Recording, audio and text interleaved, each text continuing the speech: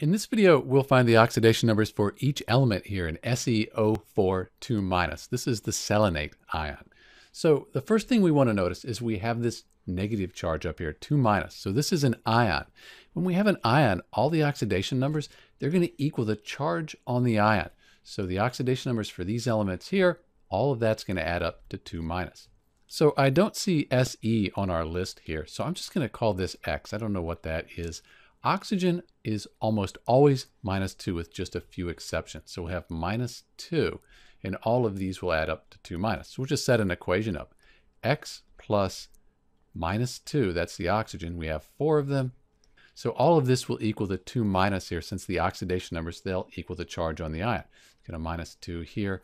So x minus 8 equals minus 2. We add positive 8 to both sides. So x will equal a positive 6. So the oxidation number here on the Se and SeO4 2 minus, the selenate ion, that's going to be a positive 6. And if we add up all of these oxidation numbers here, they'll equal the charge on the ion. This is Dr. B, and thanks for watching.